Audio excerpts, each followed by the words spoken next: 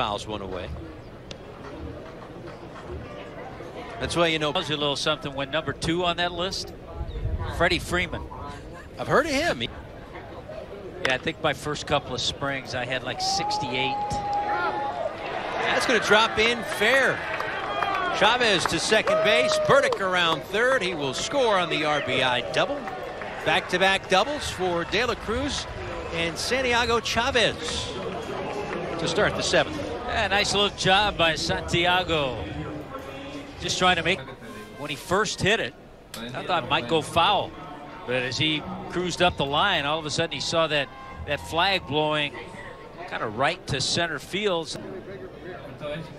Two on, one out. Domino's on there. Maybe a D'Angelo's if you go locally. High bouncer and they make the play over to first base.